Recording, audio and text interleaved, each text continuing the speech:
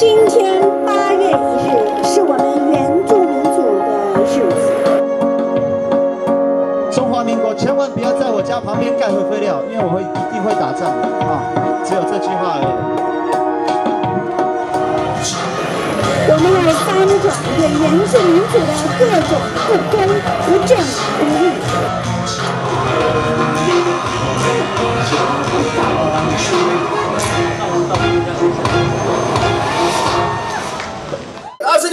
七十八年的时候，我曾经在这个地方，为了我们还完土地的时候，这边碰撞。我也希望我们在八月一号这个时间，我们所有的年轻人翻转一下你们的头脑，翻转一下我们自己的思思想，我们要有所行动。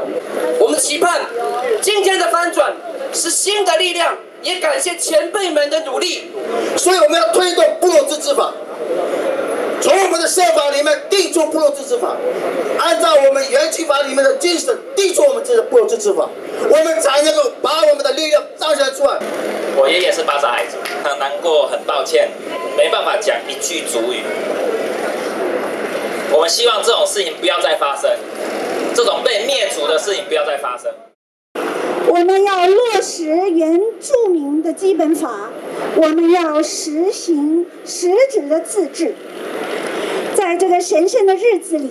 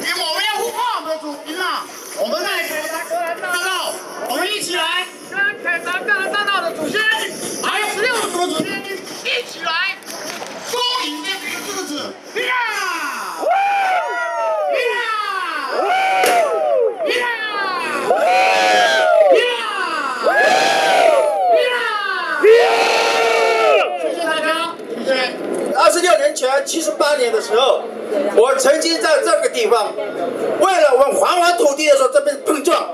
我因为这样，所以我的耳朵这边被警方的消防车冲的时候听不到。原住民延期法以后，所有的全国的政府机关开始对我们的法律开始霸凌，完全否决、侵权、行政权凌驾于我们的司法权。根本不把延期法当做一回事。河川局任意的在我们的河川所有土地划哪一块是蓄水区，里面的几十公顷的水田就这样子变成是蓄水区，这样合理吗？我们的后代要出去要去执行我们狩猎文化的时候，都要进教校。为什么？如果你轰轰烈烈出去，就开始。有警方，有离务局，啊，各单位的就开始等你回来。你们回来的时候也不能够大声的呼喊，也不能开枪。为什么？迎接你是森林警察、派出所警察、森林那个南投社会警察，各个单位都等你回来，一个一个抓进，直接到到到你那个地检署去报道。为什么会这样？我们的委员计划去哪里？政府答应给我们的权利去哪里？那请问观光对我们红叶部落有什么益处呢？好像有，第一个土地被财团买光光，我们我们的部落土地虽然有被一些汉人财团买，但是幸好那个情况并没有那么严重，所以我们这一代的年轻人必须要站出来。那其实我也是公务人员，所以但是呢，为了土地正义这一块，我必须要站出来说话。那再来，如果要发展观光，我们布农族的文化也会消失光光。那我们知道我们的南投南投有一些布农族的部落，已经已经不是都是布农族族人在那里生存了。像台东的资本温泉，本来是卑南族人，可是现在呢，几乎也没有卑南族人。所以我今天再次的跟我们政府，与台东县政府要求正视我们红叶部落的声音。好，那我希望我们在八月一号这个时间，我们所有的年轻人翻转一下你们的头脑，翻转一下我们自己的思思想，我们要有所行动。民国一百年，山上开挖了八九百万的产业道路，没有产业，哪里来的产业道路？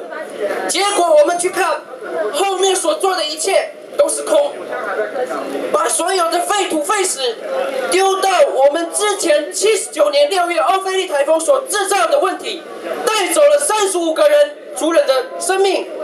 这些做的做法草率，政府有没有在听？没有。这些人的生命谁保管？没有人负责。我们我们的族人因为非常警惕，就因为七十九年六月欧菲台风带走所有族人生生命，现在政府又非常的草率缓平，又在伤口上撒盐，之后我们去告，结果只罚了乡公所六万块，人民处知不知道？不知道，水利局知不知道？不知道。我问县政府去找花莲王江腾，他不在。请问，在这个世界上，如果我们什么人都没有依靠，只有自己的族人才可以站起来。我们期盼今天的翻转是新的力量，也感谢前辈们的努力。现在我们部落又发生了观光上的霸凌，人文景观区案投资两百呃两千四百万。花在一个蚊子馆上面，这些花费对部落有什么帮助？没有，只有谁来住？财团，只有谁来做？财团，部落主任在哪里？扫地，请问这是我们要的工作吗？不是，我们要做的是有自己尊严的工作。这二十年来，其实哈，平埔族群是没有消失的，都还存在台湾这块土地上面，尤其是我们现在雅族，在台湾地区虽然说。啊，整个台湾历史文字历史的展开，殖民统治开始都是从西拉雅族开始的。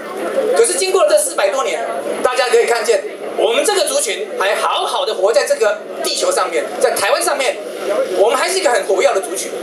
我们有自己的文化，我们有自己的母语，所以呢，很多人都会用一句话来来把我们给这一个哈啊抹灭掉哈，就是说我们汉化了。我们消失了。如果说我汉化，我今天还有办法讲我的母语吗？我部落的祭典，我们叫达爱，我们的业绩是目前国家认定为国家级的重要民俗活动之一啊。那代表就是说，我们的文化呢有我们的独特性。我们在民国四十六年、四八年、五十二年三次所谓的平地三包的登记的时候，我们只是没有去登记啊，就被剥夺了我们原有的原住民的权利。天底下有这种用行政命令去剥夺基本的人权的吗？之前的课纲里面的屏幕组把它写成原住民族，基本上大家会认为说会被消灭掉了哈，但是不至于这样子。但是他应该讲清楚，因为他本来就是错误的。他改这样子的话，对我们来讲还是有问题。因为我们叫西拉雅族，不是平埔族。荷兰人统治我们说，所有的文献上面写到了百分之七十都是在写西拉雅族。啊，我们这个族群这么勇敢，在土地活了这么久。这么多年的这一个殖民统治，我们还是这样努力，有这样自己的认同，大家应该钦佩我们的祖先才对。而且啊，现在课纲里面竟然啊要把汉人所谓的郭怀义事件，在何惧时期的郭怀义事件啊，要扩大去写啊。他竟然把台湾原住民第一个抗暴活动是什么，你知道吗？是我们希腊人的麻豆社事件啊。我们把六十个荷兰人压到这一个呃河里面，把他淹死。那第一个抗暴事件啊，可是呢，他却要把它拿掉啊。所以说啊。这样的课纲呢是非常不公不义的，哦，对我们这一个希腊原住民的话是有很大的伤害的。